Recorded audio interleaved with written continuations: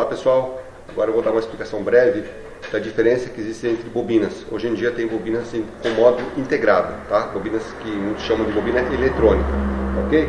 Então aqui eu estou com dois exemplos de bobinas de ignição. Essa daqui é a bobina da BMW, a bobina de ignição da BMW, tá certo? E essa daqui, essa outra aqui é do Jetta Passat, tá ok? Essa bobina aqui da BMW tem três pinos, tá?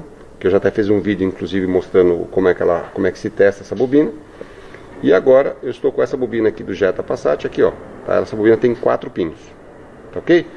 A aparência delas é similar, né? São bobinas que são colocadas em cima da vela e tudo certo. Aí me perguntam, como eu vou saber quando uma bobina tem módulo eletrônico interno e quando não tem? O que, é que você tem que fazer? Você pega o multímetro, põe na escala mais baixa, no caso aqui 200 ohms eu estou usando, tá certo?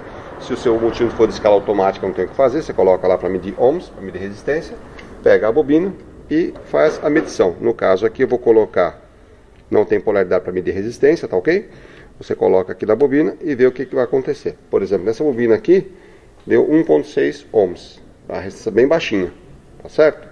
Então, essa bobina aqui é uma bobina de ignição pura e simples, tá ok?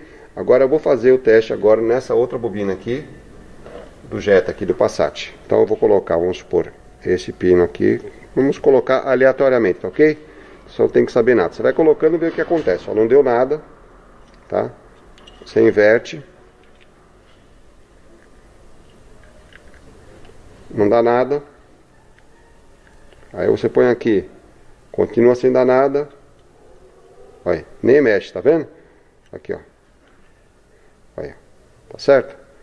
Então vamos colocando, coloca aqui nesse terminal. Então, aqui, ó. Então essa bobina aqui é uma bobina que tem módulo integrado, tá ok? Porque toda bobina de ignição que não tem módulo eletrônico interno, ela é apenas um fio espiralado que está instalado dentro da bobina. Acho que ela é feita dessa maneira.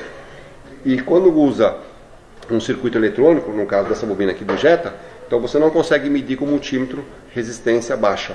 Se eventualmente a bobina der, vai dar uma resistência alta, de que nem agora. Vou fazer o teste aqui nos dois terminais, só para vocês terem a comprovação aqui. Ó. Vou colocar nos dois, essa bobina de quatro terminais, vou colocar nos dois terminais centrais. Aqui, ó.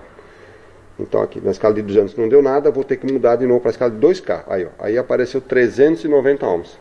Tá ok? E nenhuma bobina de ignição funciona com 390 ohms. Então essa bobina aqui, ela tem módulo integrado, tá ok?